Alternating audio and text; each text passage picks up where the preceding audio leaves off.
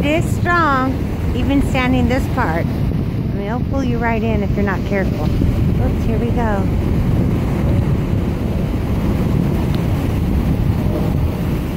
This one is really strong.